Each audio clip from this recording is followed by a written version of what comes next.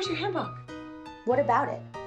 Well, I thought our Christmas card this year would be an ode to your Korean heritage, darling. I was shipped here from Korea. If that's not Korean heritage enough, I don't know what is.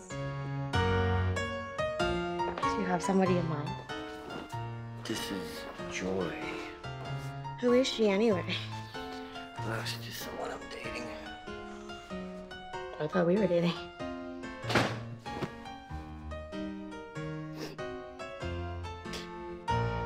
Mr. Smart, it's Sherry. Sherry Harwell. We, we spoke on the phone about selling your house. Oh. Hi. Hi. I hope it's not a bad time. Great. Hi. Nice to meet you. Yeah, sorry. I've just, just been a little out of it lately. No, no, no. Please, I can understand it. I'm very sorry for your loss.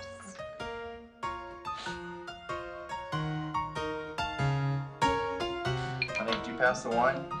Wait, you were there when Ted Hutton? Um, yeah, I was Mikey's translator. You speak Korean? Mikey, what, you didn't tell your kids about your bestest friend? Sight out of mind. Right, hon? So, are you seeing anyone? Well, I was seeing this guy Ezra, but wait, wait, wait, wait, not Elle's brother Ezra. No, there's there's more than one Ezra in this city. Okay, well, good because he's totally engaged to one of my new besties. Yeah, Joy. Sorry, did you say Jo? Did you say Joy? Yeah, actually, you might know her, Joy Lou. How's your wife? Well. She came. And she went with half.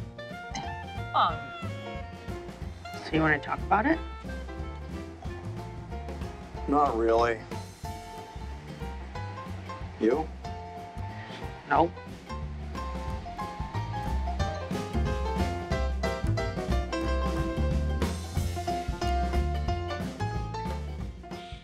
You know what you want?